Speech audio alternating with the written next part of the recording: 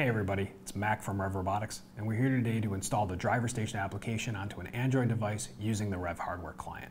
For this process, we're going to need a Windows PC that has the Rev hardware client installed, our Android device, as well as the appropriate USB cable. So with that, let's get started.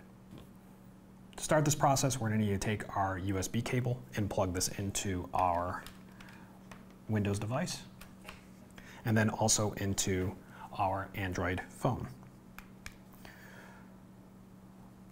One of the things you're going to notice is that we have USB debugging is enabled. For this, you're going to need to access the developer options of the device to enable the USB debugging feature.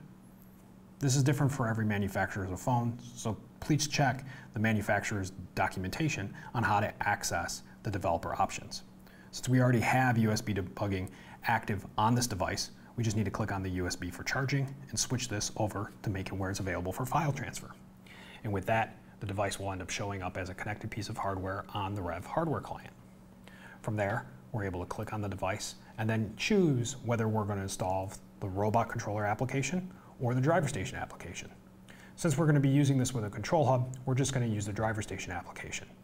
If you're using an expansion hub with a robot controller phone, you'll need to install the robot controller application.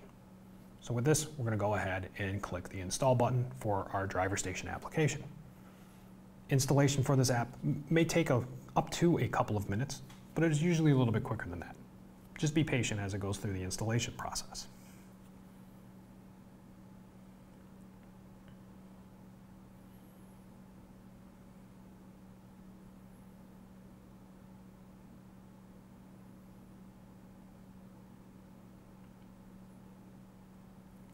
Once the driver station application installation is complete, it will auto open on your Android device.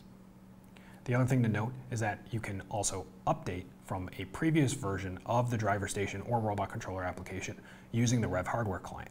If you're using Android Studio, you're going to want to push your updates to your robot controller app through Android Studio and not through the Rev hardware client.